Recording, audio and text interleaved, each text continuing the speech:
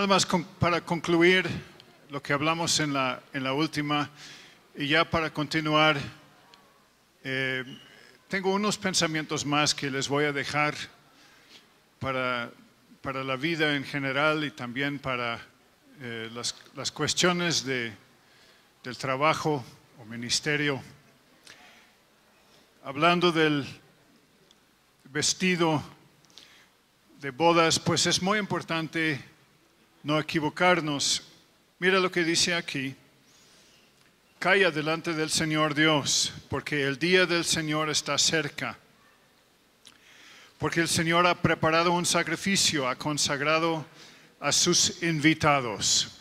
Está hablando de la boda venidera. Y sucederá que en aquel día el sacrificio del Señor castigaré a los príncipes, a los hijos del rey y a todos los que visten ropa extranjera.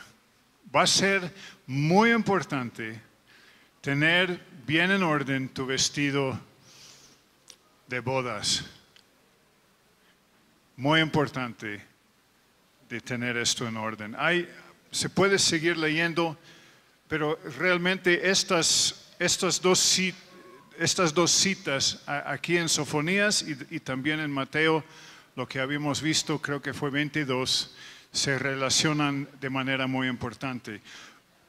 Otro detalle que quería tocar, cuando hablamos de Abraham, de las cenizas, algo que me da mucho gusto es que en este mundo, en nuestras vidas, cualquiera puede hacer cenizas de algo.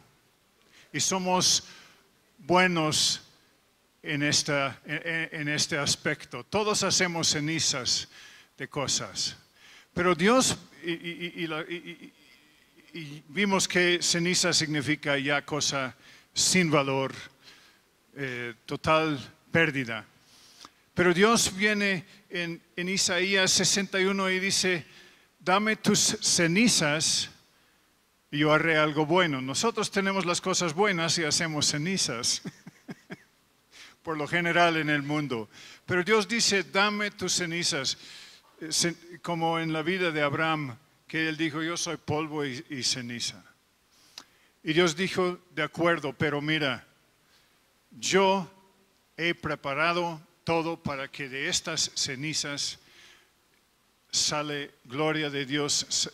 Dice ahí diadema en vez de ceniza o, o hermosura en vez de ceniza. Dios toma la ceniza y hace algo precioso de ella. Estos nada más unos puntos para finalizar las cosas que habíamos hablado hasta ahora. Bueno, entonces, para arrancar, eh, les quiero hacer una pregunta. Vamos a, empezar.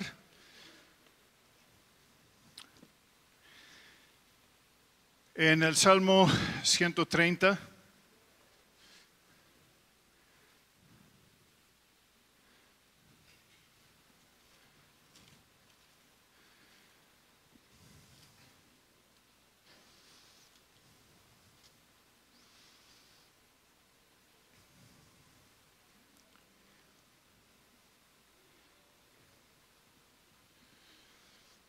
Y en el, verso 3, y de ahí vamos a, brincar a, a- a otras dos cita- citas en los Salmos.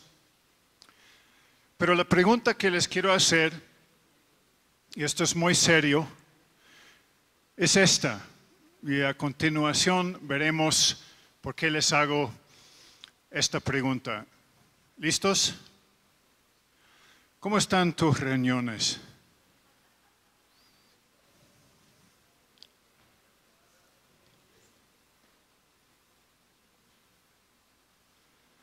¿Cómo están tus riñones?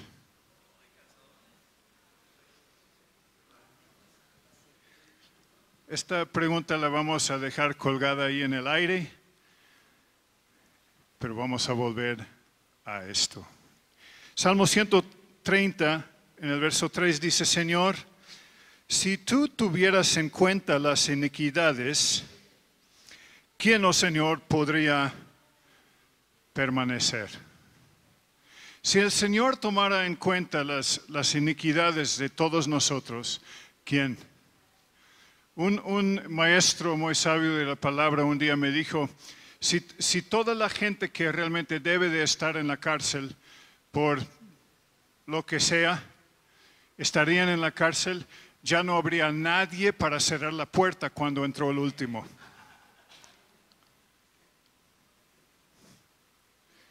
Eso es lo que dice este verso. Si tú tuvieras, tomaras en cuenta las iniquidades de todos nosotros, oh Señor, podría permanecer. ¿Quién podría permanecer ante el Señor? Y, en otros años, yo me acuerdo, en una habíamos definido lo que es la iniquidad. La iniquidad es cuando, como cuando el caballo le empuja el bocado por fuera de la boca y ahora hace lo que quiere. Les, les había contado una historia de esto porque ya no lo puedes controlar. Y así somos en nuestras vidas, de repente se nos antoja algo, de repente sucede algo que pensamos que esta ya me la sé, la voy a hacer a mi manera. Con la lengua empujamos el bocado fuera, que es la manera, es la palabra de Dios que nos controla. Queda fuera y ahora podemos correr a, como queremos. Esta es iniquidad. Esto es iniquidad. Y no tarda, por lo general no tarda mucho en darnos cuenta que hemos hecho y que otra vez vamos mal. Vamos mal. Incluso a veces lo hacemos eh, muy santuronamente con versículos bíblicos y para la gloria y honra, por supuesto.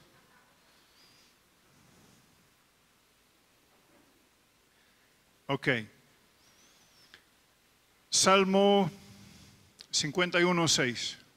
Ya hemos mirado este salmo y esto nada más nos va a servir de trampolín a que vamos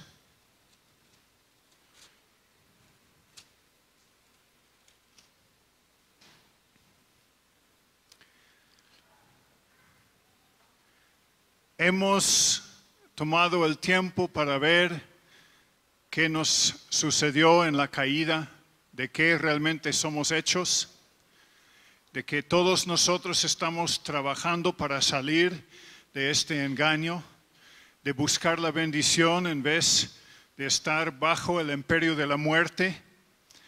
Esto lo podemos lograr porque Él nos ha dado un vestido de bodas, nos da el derecho de ser llamados hijos de Dios, el Padre nos ve como justificados, aunque todavía hay mucho por delante, mucho trabajo por delante, y, ahí vamos trabajando. Y, lo que Dios realmente desea y lo que eh, muy difícilmente encuentra muy dentro de nosotros es esto. He aquí, tú deseas la verdad en lo más íntimo. Y quiero leer un verso más que trata de esto y está en el 15 de los mismos salmos. Y el verso 2, Salmo 15, verso 2, que básicamente dice lo mismo y nada más es para reforzar. ¿Quién habitará en tu tabernáculo? ¿Quién morará en tu santo monte? El que anda en integridad obra y obra justicia que habla verdad en su corazón. Este es uno de mis salmos favoritos, porque yo sí quiero habitar en la presencia del Señor. Y aquí hay las indicaciones de, cómo tenemos que trabajar, obrar, ser para lograrlo. El que habla verdad en su corazón. Una de las cosas que me sucedió cuando el Señor empezó a tomar en serio eh, el deseo de mi corazón de ser transformado, cuando Y como dije, eso sucede solo cuando nos damos cuenta lo que realmente hay y le pedimos ayuda. Solo cuando yo reconozco quién soy, entendiendo quién todavía no soy y pidiéndole, Señor, perdón y ayúdame ser transformado. Y una de las cosas eh, que sucede es, nos entregamos al Señor y pues, por supuesto, la mayoría de la gente entiende luego, luego cuáles son los pecados grandes que uno tiene que dejar, ¿no? Entonces se deja la droga, se deja el chupe, se deja eh, el adulterio, se deja esto y el otro. Esos, esos son los grandes pecados, ¿verdad?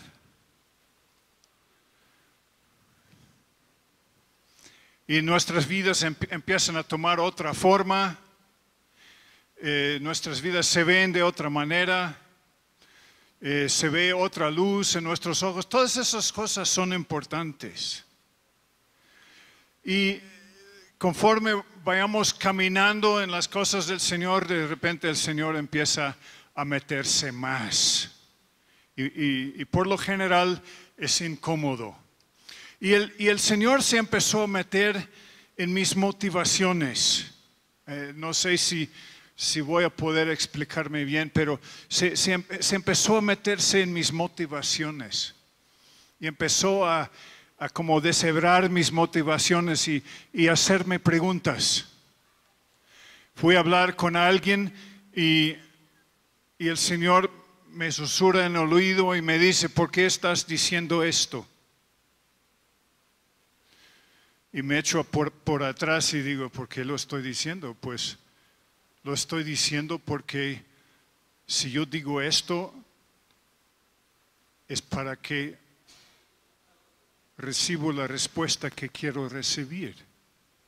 O sea, hay, hay como una pequeña manipulación ahí. Entonces dije, ay caray, ahora sí la cosa se pone en serio. Si es con la esposa, si es con los hijos, si es con los vecinos, si es en los negocios, si es en las cosas. Y el Señor se empezó a meter en cosas que estuve a veces escribiendo. Dios se metió en, mis motivaciones y digo, ¿por qué escribes esto a esta persona? Entonces me echo para atrás y digo, porque espero que a través de esto recibo cierta respuesta que me agrada. Si es en, eh, alguna cuestión de, de negocio, de lo que sea y me di cuenta que mis motivaciones no estaban bien. Y creo que de esto se trata cuando dice aquí que Él desea la verdad en el corazón. La verdad en el corazón. Pero es más todavía que eso. Y ahora empieza lo interesante. Pero para esto tenemos que usar la Reina Valera más antigua que la, de, que la 60. Los que tienen la, Reina Valera R, es, esta sí funciona. Porque en la lengua, en la lengua antigua viene ahí algo interesante. Yo, yo lo estuve leyendo en una traducción eh, muy vieja en el inglés. Salió una palabra que ya no se utiliza para nada. Entonces empecé a investigar. Y esto es lo que me salió. En el, y, mira, lo que pueden hacer, no, no, no, no toman el tiempo para abrir a cada cita. Lo que yo hice, como no tengo esta Biblia más que en el iPad, entonces yo a mano escribí todos estos versos. Estos versos se los voy a leer. ¿De acuerdo? Las pueden apuntar, les voy a decir dónde están ya después lo pueden buscar. Pero para que les salga de esta manera, tienen que buscar en las Reina Valeras más antiguas. Ya, ya ves que, que van ajustando el lenguaje para, porque hay evolución en pensamiento, en cultura, en comunicación y cosas que se decía hace mucho tiempo, hoy día ya no se entiende de la misma manera. Pero creo que aquí, mínimo para mí, encontré algunos tesoros aquí y se los quiero dejar. En el Salmo 26.2 dice, pruébame, oh Señor, sondéame. ¿Qué es esto de sondear? Hoy, hoy en día, ¿qué tenemos del, del sonar, del sondear? Sí, incluso eh, el ultrasonido, por ejemplo, cuando eh, el doctor eh, hace el chequeo del, del, embarazo y ya puedes ver hasta el niño moviéndose ahí adentro, ¿sí? En una pantalla, ¿no? Eso, esto viene de esto. Es manera de examinar, de, de, escudriñar críticamente. Críticamente. Y tenemos que entender que esto es lo que Dios hace con nuestras vidas. Y Dios no nos va a dejar salirnos con la, con la mía, con la tuya.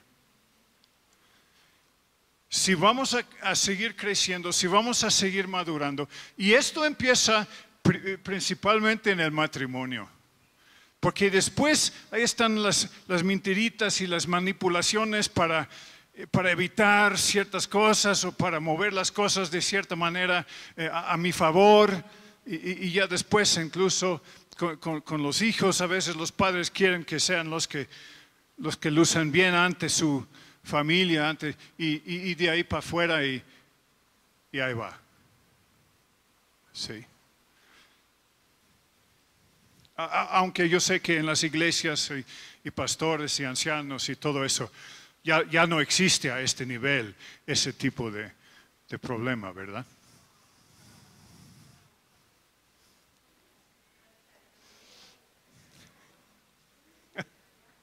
Por eso dijo la ancianita que no quería ir al cielo, porque ahí hay 24 ancianos.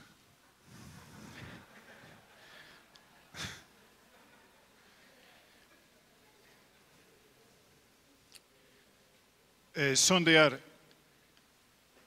eh, mirar críticamente cada detalle. Pero la segunda parte del verso dice, examina mis riñones y mi corazón. Sí. En otras traducciones dice, examina mi mente y mi corazón eh, y así, etcétera, etcétera. Muchas cosas distintas pone ahí. Pero en las lenguas originales dice, examina mis riñones. Y mi corazón. Esto implica que hay diferencia entre riñones y corazón.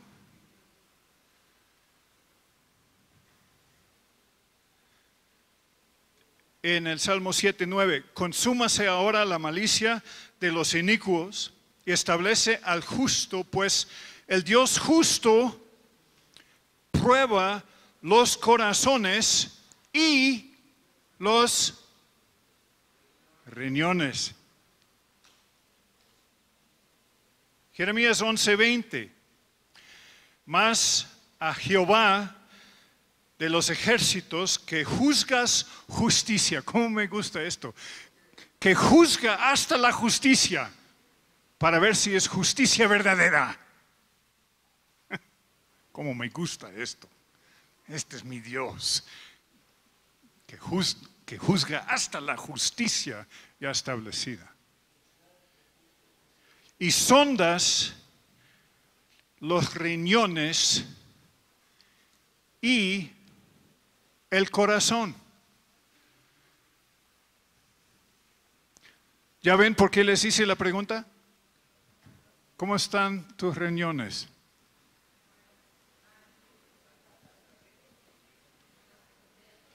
En Jeremías 17:10,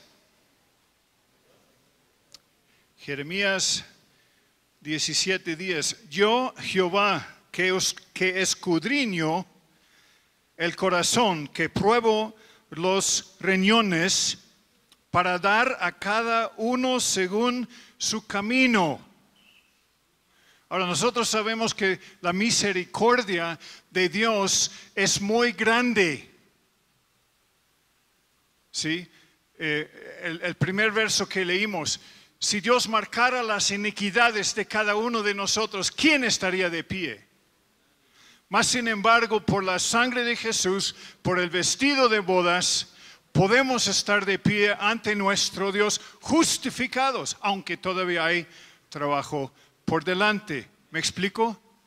Por eso incluso nosotros podemos tener tal vez un poco más gracia y misericordia cuando vemos a un cristiano en, en alguna falla, en alguna falta, en algún pecado entendiendo que pues a lo mejor tiene su vestido de bodas, pero todavía hay cosas que no ha entendido y extenderle gracia y misericordia también. Claro que hay otras cosas que tienen que ser tratados cuando ya se pasa. Pero dice, eh, para dar a cada uno según su camino. ¿Esto qué implica? ¿Que Dios, eh, según lo que ve a nosotros, nos va a juzgar? ¿Es lo que implica? Entonces, ¿qué implica? Porque yo me quedé, la primera vez que lo leí, dije, pues, entonces, ¿cómo está esto? Si, si realmente entendemos y, disfrutamos, y es una de las cosas que, que, que sale de mis labios de manera eh, más y más y más, Señor, viendo todo esto, cuánto, cuánto, cuánto te agradezco tu gran misericordia. Inescrutable tu misericordia y tu gracia. Entonces, ¿cómo es esto? Escudriña el corazón, los riñones, para dar a cada uno según su camino. ¿Qué significa entonces? Creo que para mí después de meditarlo, después de pensarlo, significa que Dios se mete, bueno, eh,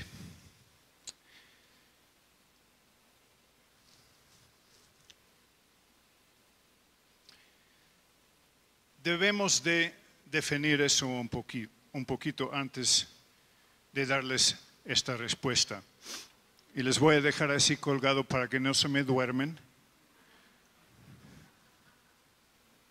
Ya, ya es mucho trecho que hemos pasado, ¿no? Es mucho sentado.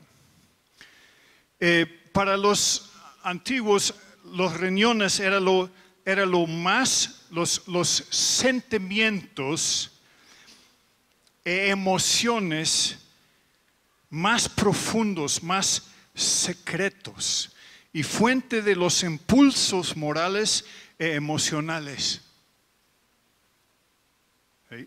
Y, lo que fue el corazón tenía más que ver con el intelecto para ellos. Por eso dice riñones y corazón. Y esto eh, para mí llegó a ser importante por algo que eh, dijo C.S. Lewis. Eh, después. Lo voy a, decir una vez más. Los riñones representan los sentimientos, emociones más profundos, lo más secreto de tu ser.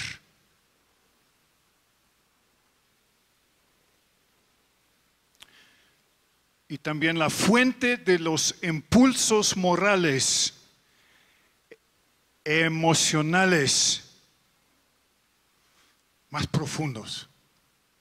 Algunos lo comparan con la conciencia. Ahora todavía no he llegado a pensarlo hasta ahí, pero yo creo que eso sí lo podemos entender.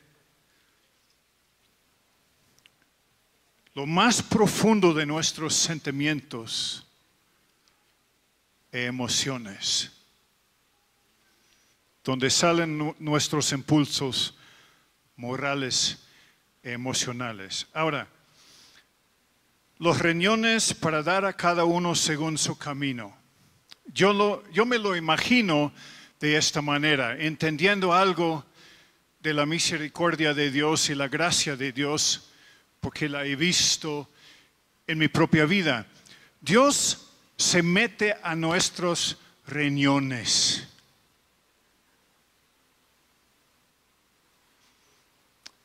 Y cuando dice aquí lo más profundo es que el carnicero sabe que cuando él abre el animal y empieza a quitar y sacar y hacer algún carnicero aquí,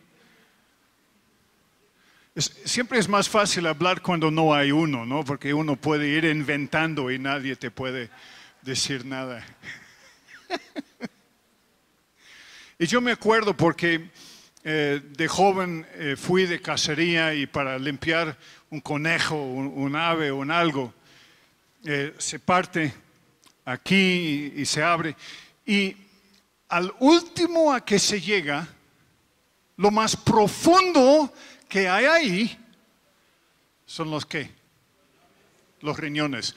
No solo eso, sino los riñones están rodeados por la grasa más pura de tu cuerpo, porque protege a los riñones. La grasa más pura de tu cuerpo rodea a los riñones que están a lo más profundo de ahí adentro. ¿Sí? Incluso en el Antiguo Testamento, ahí pueden buscar en sus concordancias en cuanto a, los riñones, eh, sabemos que esta grasa siempre fue dedicada como eh, para ser quemada para Dios. ¿Sí? Porque era la grasa más pura en el cuerpo. Entonces yo me imagino, yo me imagino la cosa de esta manera, Dios con su el Cristo que vimos con la, con la espada que le sale de la boca. ¿Se acuerdan? Llamas en los ojos, pelo blanco, Apocalipsis. Viene a nuestras vidas y dice, hola Bernie, ¿cómo estás? Pues bien hasta ahora.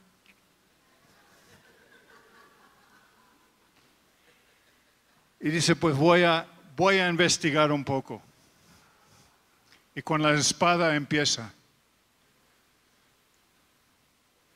Empieza a abrir y llega hasta los riñones. Y después empieza a partir los riñones. Y muy finitamente, muy críticamente escudriña a mis riñones. Totalmente desnudos, totalmente deshechos, totalmente transparentes ante Dios.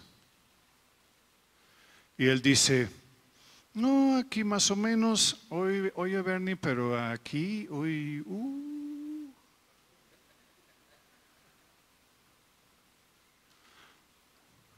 ¿Sí? O empiezo con pretextos. ¿Sí? No es que O hasta empiezo con versos bíblicos. Pero dice, o le digo, sí, Señor, perdóname. Ayúdame a verme a mí mismo como soy. Y esto es posible solo cuando Dios te lo revela. Porque hay tres verdades en el mundo. Tres. ¿La tuya? ¿La mía? Y la de Dios.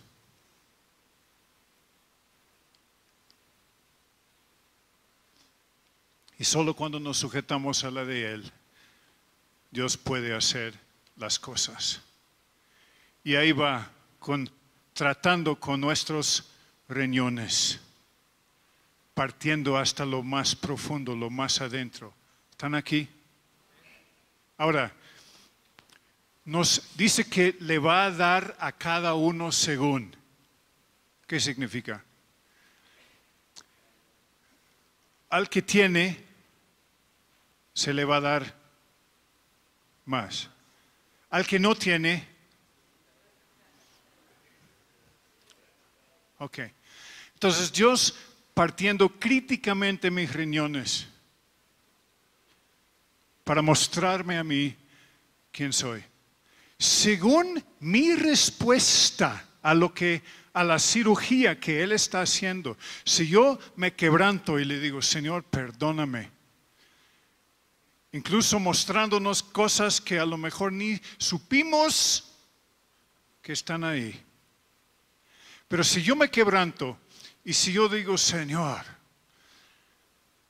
perdóname, y más, sigue en la cirugía, entonces el Señor me va a dar según mi respuesta. ¿Están aquí? No me va a juzgar, no, eso no es para juzgarme, no es para aplastarme. Ah, mire lo que he encontrado. Porque al final de cuentas no es lo que Él va a encontrar, es lo que Él a mí me quiere mostrar. A Él no le vamos a sorprender, ni con nuestros pecados y fallas. Ay, yo no sabía que Bernie es capaz de esto. ¡Qué sorpresa! No, no, no, no. Él ya sabe todo esto. Pero también ya ha hecho manera por el vestido de bodas que me ha regalado de arreglar el asunto. Pero yo tengo que responderle correctamente. Si yo le respondo correctamente, me va a seguir dando. ¿Qué es lo que me va a dar? Un poquito más de entendimiento de estas cosas, de lo que Él está haciendo, un poco más revelación de su carácter, para que yo lo aplique a mi, a mi propia vida, a mi propio caminar. Y de esta manera la gente que me rodea pueda ver algo distinto. Y después del dolor de arreglar el asunto, viene otra vez. Bernie, ¿cómo están tus riñones?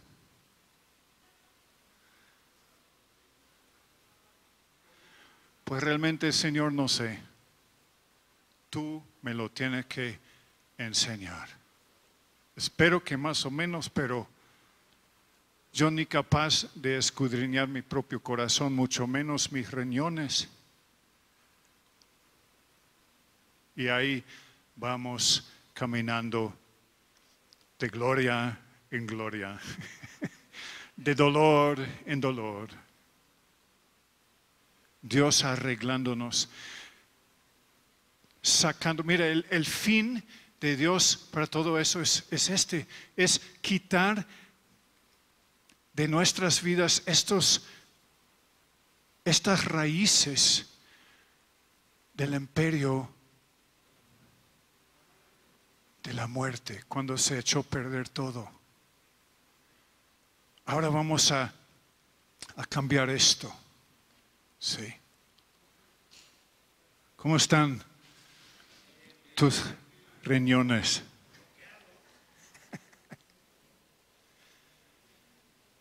Para dar a cada uno según su camino, según el fruto de sus obras.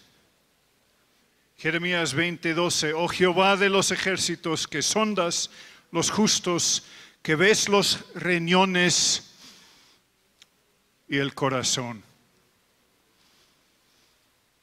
Y hay un verso en, en Proverbios, ya casi termino,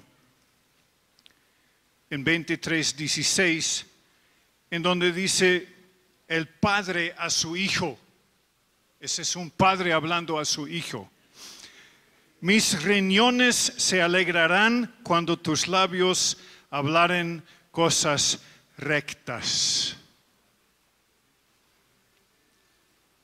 Y yo me lo imagino que también nuestro Padre Celestial, cuando, nuestras, cuando nuestros riñones se empiezan a reparar y cobrar sanidad, y Él empieza a oír de nuestros labios verdad, rectitud, integridad. Yo creo que esto alegra al corazón de nuestro Padre cuando los labios de sus hijos hablan la verdad. Le alegramos sus riñones de nuestro Padre. Lo más profundo de su ser se alegra cuando nuestras vidas cobran un rumbo distinto. Y en Apocalipsis 2.23, para finalizar esta parte, soy el que escudriña los riñones y los corazones. ¿Cómo están tus riñones? Y esto eh, para mí ha llegado a ser algo interesante en, en mi propia vida, ¿no? Mi padre interesado por mis riñones para examinar críticamente, para buscar lo que hay y lo que no hay. Y enseñarme de sus caminos. ¿Cómo están nuestros riñones?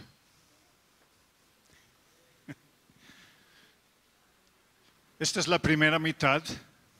No es cierto, Beto, no es cierto. Quisiera compartirles un pensamiento más para, terminar. Y es esto.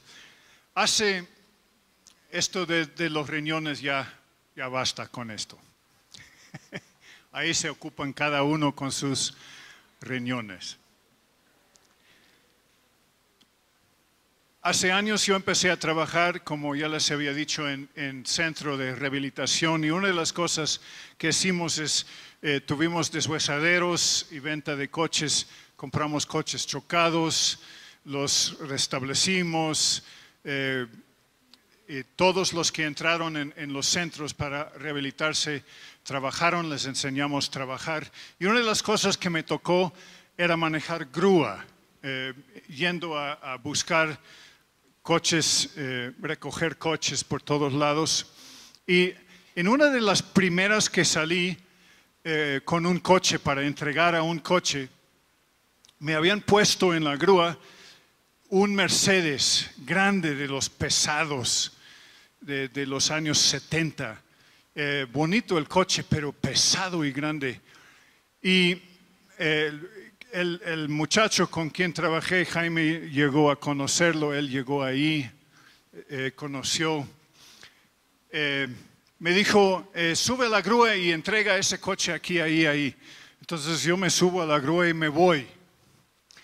Y llego a un cruce con una subida y le doy la vuelta y veo que el Mercedes se empieza a mover. Y yo me espanto y le pega al freno y me viene otra vez para adelante, por casi, por poquito se me va por atrás y se queda ahí en la calle, haciendo quién sabe qué tipo de destrozo. Y ya, pues a ver cómo puedo hacer con, con este vehículo para que no se me caiga antes de poder parar y amarrarlo bien.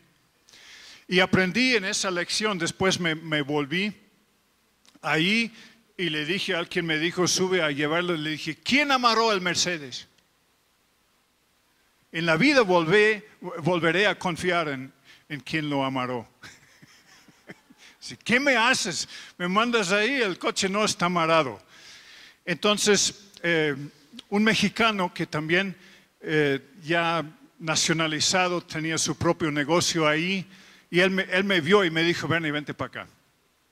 Él también ya tuvo su propia grúa. Y me dijo, mira, aquí en los Estados Unidos, porque yo había manejado grúa también en España, pero me dijo, en, las grúas, aquí legalmente, se tiene que amarrar las grúas en cinco puntos. Uno con el gancho con que jalas el coche para subir la grúa. Este se queda con el motor conectado. Después le pones dos cadenas atrás, uno de cada lado y esto se engancha en, el chasis. Después le jalas otro poquito para que la tensión de adelante y detrás eh, jala el coche para abajo, ya son tres puntos. Después le tienes que amarrar otros dos puntos en las llantas traseras o en el chasis, eh, eh, delanteras. O sea, cinco puntos, uno en medio con, jalar y después cada esquina del coche tiene que estar bien amarrado y una tensión precisa y este coche nunca se mueve. Nunca se mueve. Y yo dije, pues, qué bárbaro, ¿no? Que a veces pensamos que el estrés y la tensión es algo malo. Pero yo... Eh, ¿Dónde me lo apunté? Bueno, leí últimamente que el estrés correcto, la tensión correcta en nuestras vidas es lo que produce productividad. Mayor productividad en nuestras vidas sale cuando el estrés, las tensiones están correctas. ¿Están aquí? Y dije, qué interesante. En, mi vida también, yo, para ser libre, yo tengo que estar amarado. Para ser libre, yo tengo que ser amarado. Y yo dividí esto en dos cosas, y, nada más lo voy a decir rápidamente para terminar. Cinco, cinco puntos en los cuales tiene que haber tensión en mi vida. Matrimonio, es uno. una tensión correcta en mi matrimonio que me jala hacia un lado. Después, la economía a lo mejor en mi vida también es un punto que eh, eh, si, esto está en una tensión correcta, ¿sí? Eh, familia y amigos, trabajo, ministerio, los hijos. Ahí van cinco puntos. Ustedes se pueden imaginar otros que a lo mejor en su caso les sirven mejor. Pero estas son tensiones que nos mantienen en seguridad. No todo el estrés es malo. Nos hace falta. Y me di cuenta en mi propia vida que, que si no estoy bien amarrado, anclado en ciertas cosas, la tensión tiene que ser específica, porque si es mucho aquí, pues vas así. Si es mucho allá, vas así. O sea, buscar el equilibrio en estas tensiones y esto nos mantiene en una salud emocional.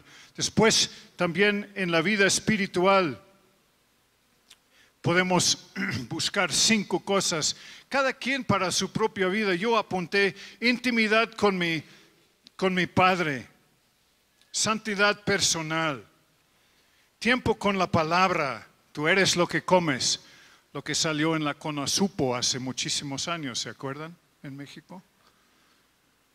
Cuando anunciaron come mejor, tú eres lo que comes. Esto fue en el principios de los 80. Yo viviendo en Oaxaca.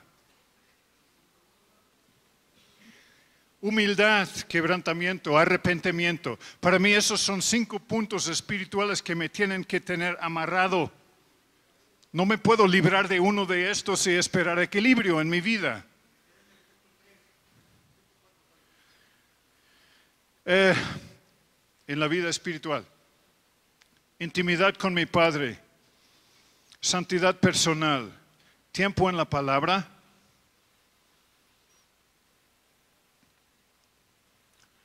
Humildad, quebrantamiento, eso es el chequeo de los riñones.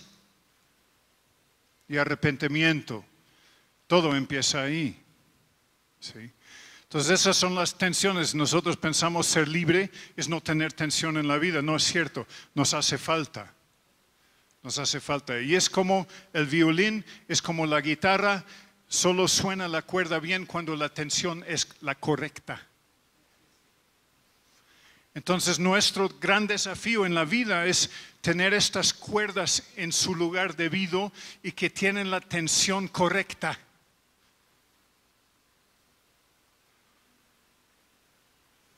Y eso lo, lo aprendí manejando grúa. Gracias Padre por este tiempo. Gracias por tu palabra tan rica. Te pedimos, Espíritu de Dios, hacer tu obra usar de, de lo que ha salido de ti en las vidas de cada uno, haciendo obra profunda, Señor. Padre, que sea obra duradera. Nos ponemos en tus manos. Y en este día, Señor, quiero decirte, escudriña mis riñones y mi corazón. Y lo digo temblando,